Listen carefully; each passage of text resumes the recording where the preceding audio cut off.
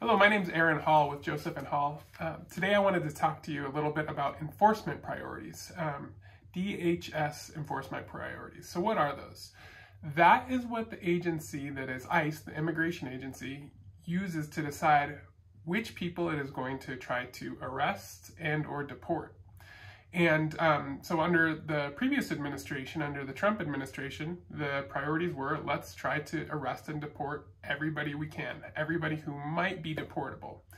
And under the Biden administration, they wanted to change that. So in 2021, DHS Secretary Mayorkas released a priorities memo and was promptly sued about it. And the lawsuit put the priorities on hold. They weren't in effect for a long time. But this June, the Supreme Court made a decision in favor of the Department of Homeland Security. And the Department of Homeland Security has just confirmed that those priorities are back in effect. So what does that mean for you? Well, it means there are three categories of people that are deportable that the uh, that ICE is going to be going after in general. The first would be threats to national security, and so that is where we're talking about like terrorism or espionage, those kind of things. The second is threats to public safety.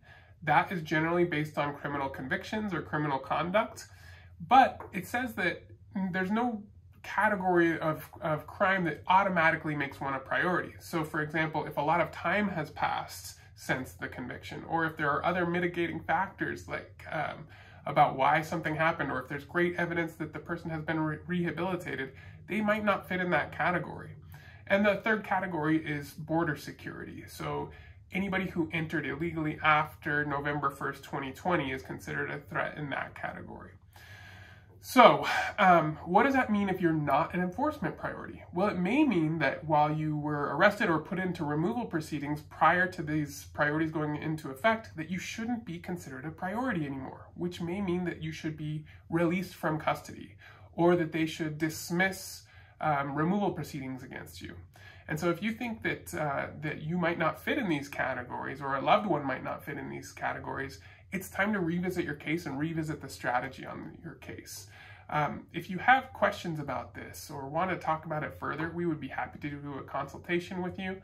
Um, you would just need to contact our office and we'll get one scheduled as soon as possible. Thank you.